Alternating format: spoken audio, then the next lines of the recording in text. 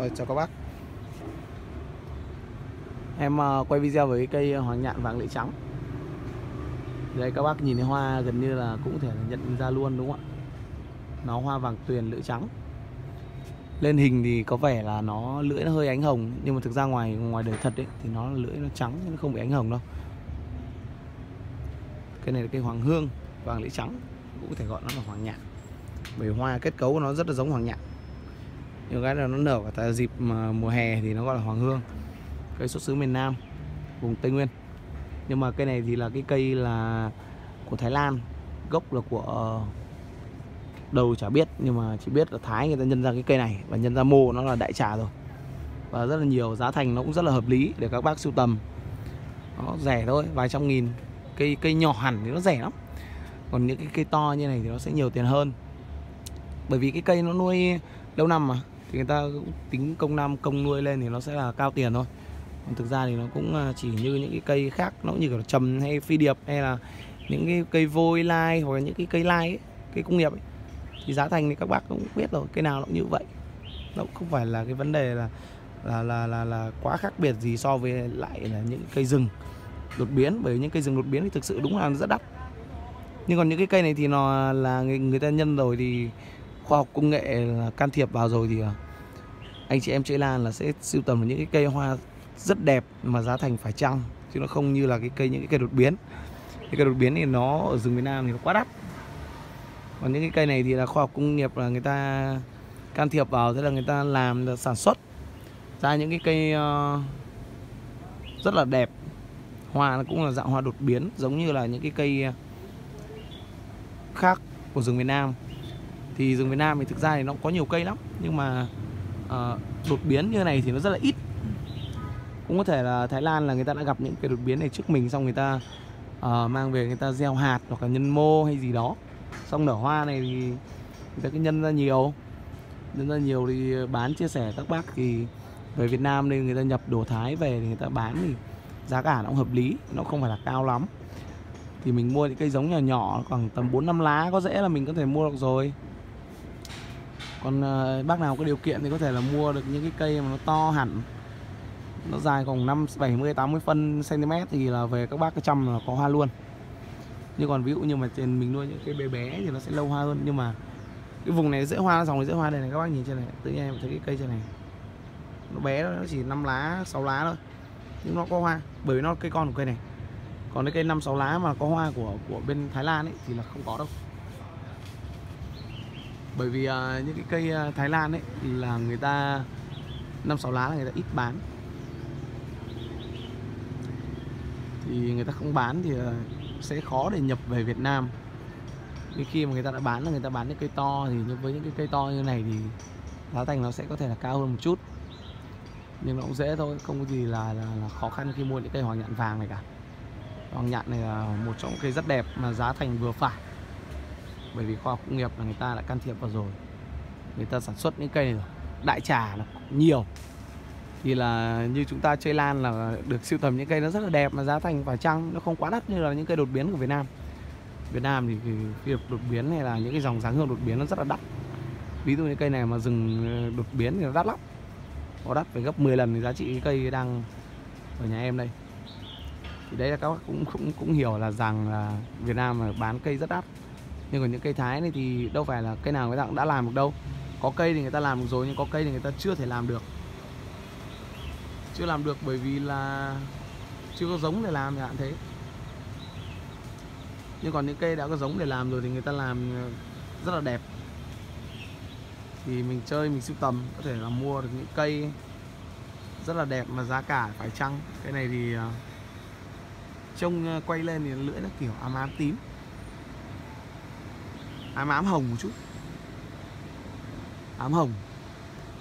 Nhưng ngoài thật thì nhìn nó không hồng lắm đâu. Nhìn nó trắng, nó không hồng lắm. Đây để em quay xuống cái cây dưới này, các bác nhìn này. Đấy. Đây là cây mẹ đây này. Trông nó không hồng lắm đâu. Trắng trắng, hơi hơi phẩy phẩy. Nhưng mà nó rất là đẹp rồi, cây này như này là rất là đẹp cái này em thấy là rất là đẹp rồi. Đây thì em giới thiệu một chút à, về thân lá của cái cây hoàng hương vàng à, lưỡi trắng này. Đây là cái cây thân lá hoàng hương, của cây vàng lưỡi trắng. Thì thân lá của nó thì không khác gì những cái cây thân lá cây hoàng nhãn khác cả. Hoàng nhãn thái.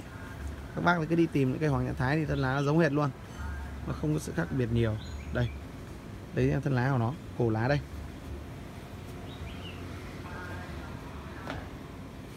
Cái này thì nó có sự cổ lá của nó thì nó không việc gì cả. Nó hơi hơi bị đốm một chút. Nhưng cổ lá của nó là cổ lá sạch chứ không phải cổ lá bị ám tím. Cái đoạn đây này. Cái đoạn này nó là rất là sạch nó không bị ám tím này. Còn khi mà nó bị ám tím ấy thì là cây đấy nó sẽ là cây vàng tím. Còn như những cây mà vàng tuyền hoặc vàng lưỡi trắng như này thì vàng cây những cây vàng vàng lưỡi trắng này ấy, thì là nó nó nó nó sạch và thường thì rễ đầu rễ của nó sẽ là da màu xanh hoặc màu xanh trắng. Xanh trong ấy. Chứ nó không phải là, nó không ánh tím, ánh hồng đâu. Còn nếu như mà nó có ánh tím, ánh hồng ấy thì nó lại là cây ờ, vàng lưỡi tím rồi. Cái vàng lưỡi tím thì cũng nở mùa này thôi. Và giá cả thì cây này thì nó có đắt, hơi nhỉnh hơn một chút so với cái cây hoàng nhãn kia. Còn thì đương nhiên là có có thể là có một số cây giá nó rất là cao bởi vì là nó, cây nó thân lá to chẳng hạn hoặc là cây nó khỏe không bị mất lá gốc thì giá nó sẽ cao hơn là những cái cây mà nó bị mất lá gốc hoặc là những cái cây uh, bị uh, uh, bệnh đốm lá. Như cây này là của em nuôi là nó hơi bị đốm lá một chút. Bởi vì nuôi ngoài bắc thì nhiều khi là nó thực sự để mà nói là nó không bị đốm lá 100% thì nó rất là khó. Không phải cây nào nó cũng được đẹp mị tít đâu. Nó có cây nọ cây kia vườn chăm sóc mà. Nên là chẳng ai có thể nói tài được là cây cây nào nó cũng tốt như những cây nào trăm trăm tốt hết là gần như là không có. Kiểu gì nó cũng có xác suất là có một số cây là cũng sẽ bị bệnh hoặc đốm lá. Nhà ấy vậy thôi, nhà các bác chơi về sau các bác sẽ thấy là không phải cây nào nó tốt. Có cây tốt, cây yếu, có cây nọ, cây kia. Nhưng với những cái cây này như này là em thấy là khá là đạt bởi vì nhỏ như cây ở trên này, nhỏ này nó vẫn có hoa. Cái con của nó, nhỏ như này vẫn hoa. Cái trên, hai cái trên này thế. Nó rất là bé thôi nhưng mà nó có hoa rồi. Thì đấy là em uh, giới thiệu sơ qua về cái cây ờ, vàng lưỡi trắng. Hoàng nhạn vàng lưỡi trắng. Cây nó cái đột biến nếu mà gọi theo những kiểu kiểu bình thường mình ấy, thì vàng lưỡi trắng nó đột biến của trắng tím. Nhưng cây này là cây thái thì là nó cũng đỡ hơn về vấn đề giá thành. Chúng ta sưu tầm là những cái cây như này là nó vừa phải và nó không bị uh, quá nhiều tiền. Như cây rừng. Những cây rừng Việt Nam ấy thì người ta mà sưu tầm những cây này nó giá thành nó cao lắm giá thành rất cao và người ta sẽ tính hàng lá tính tính theo lá. Còn như cây to của Thái này thì người ta không tính theo lá người ta cứ ờ, bán cả cây thôi. Đấy thì còn cái giá thể trồng của nó ấy, giá thể trồng của những cái cây này thì em thì em ờ, có cái xu hướng đó thì chính là trồng các cây đều vào chậu. Trồng thẳng phía cây nó hướng nắng lên trên thì nó nó nó phát triển tốt. Còn trồng gỗ này thì ví dụ như gỗ dáng dấp này thì nó, ngày trước nó rất là đẹp bởi vì nó còn lá nhưng bây giờ nó bị rụng lá gốc này thì nhìn nó không còn đẹp như ngày trước nữa. Nhưng ngày trước nó còn lá thì đẹp, nhưng phải chăm tốt cơ. Còn nhưng khi mình trồng một chậu ấy, thì là cái vấn đề là lá của nó thì nó nó nó được chìm trong chậu và trồng chậu nó giữ ẩm tốt hơn. Thì là nó không bị rụng lá gốc. Mà cây không bị rụng lá gốc thì nó đẻ con lên thì sẽ rất là đẹp. Một số cây em trồng thì nó cũng đẹp lắm. Nó cũng có cái con, nó cũng kiểu trồng gỗ này. Nhưng mà tùy từng vị trí. Có những vị trí là trồng cây nó không tốt lắm mặc dù là cùng ở trong vườn cùng ở một vườn cùng ở thoại độ thoáng như nhau cho ăn phân thuốc tưới bón như nhau. Nhưng mà có một số cây thì nó không được tốt bằng những cây này được. Đấy ví dụ cây nọ cái kia mà. Thì nó có cây khi mà mình phun thuốc hay là phân phân thuốc hay là độ thoáng gió ấy. lúc thì gió hướng nam lúc gió hướng đông mà. Chẳng biết lúc nào hướng nào. Nên là cây nó có, có cây nọ cái kia. Thì đấy là về chăm sóc. Còn phân bón của những cái cây này thì em hay dùng những cái dòng dáng hương này em hãy dùng uh, em chỉ dùng ừ, dáng hương cho những cái loại uh, uh, dáng hương lá mọng nước ấy thì là dùng phân vô cơ. Còn đâu là đa phần những cái dáng hương mà kiểu không phải lá mọng nước này thì em dùng phân hữu cơ. Phân hữu cơ thì nó khá là tốt phun thì nó lá nó hơi bẩn một chút thôi nhưng mà cây nó tốt nó không hay bị bệnh nhiều. Bởi vì phân hữu cơ nó nó nó không độc hại như là những cái cây khác nên tác dụng phụ nó kém nó ít hơn ấy. còn những cây mà em vẫn hay dùng các loại phân khác ví dụ như là super thai chủ yếu là super thai là nhiều. Thì dành cho những cái cây à, dáng hương này. Bởi vì có một số cây em nuôi nó nó tốt lắm cùng hoàng nhạn này nó rất tốt. Nhưng mà đôi khi hoa nó nở ra ấy thì là nó lại bị uh, những cái con côn trùng ấy nó đốt. đâm đâm là nhiều khi những cái giò đẹp chả được quay mà những cái giò xấu xấu hoa lại rất đẹp thì lại được quay.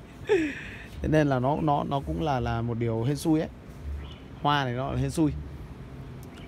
Thì uh, em giới thiệu sơ qua về cái cây uh, hoàng nhạn vàng lưỡi trắng là như thế. Nở vào dịp uh, như bây giờ là đang là ngày mùng 7 tháng 6 lịch dương. Thì cái này nó nở. Cảm ơn các bác đã theo dõi video thì à, về sau các bác có thể sưu tầm những cây này. Nó là một trong những cây rất đẹp và rất đáng để chơi. Cảm ơn các bác đã theo dõi video. Xin chào các bác và hẹn gặp lại vào những video lần sau. Em chào các bác.